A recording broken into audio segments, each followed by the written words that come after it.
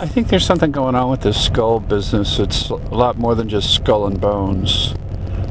It has something to do with these aliens or uh, demonic entities, whatever the fuck they are. They always seem to be associated with skulls. Just don't ask me what the what the fuck they are. They're not good. That's for damn sure. They're probably dead. Probably dead entities who have no life form, and that's why they want ours. They can go fucking rot in hell. That's where they're gonna go. That's what I'm gonna. That's where I'm gonna send their ass straight to hell, along with the rest of these fucking CIA bastards poisoning us.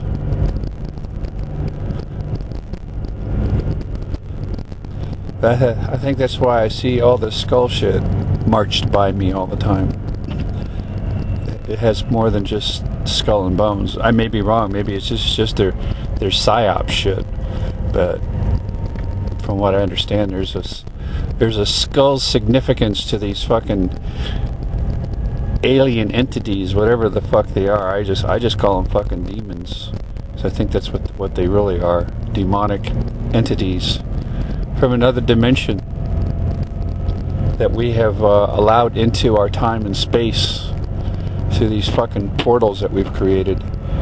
Time warp, demonic portals that were opened up in 1947 when they started doing these Philadelphia experiments with the Eldridge.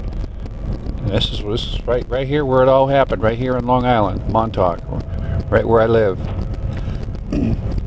That's why I'm I'm seeing I'm being targeted for one thing by these fuckers.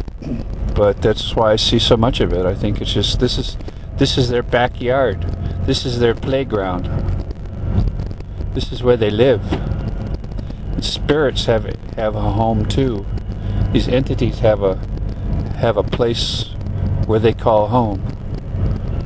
Just like we do. And now with these chemtrails, they're making their home the entire fucking world. Creating this electromagnetic energy field that these fucking things can thrive in, feed off of. That's my opinion. Call it crazy. But there's some crazy shit going on, my friends. and you better wake up. And it ain't good. And it sure as hell isn't godly. And it sure as hell is demonic.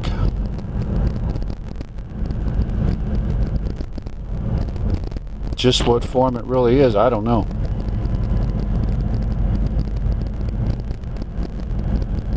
But it ain't from God. Not that I know. Not the God that I know of.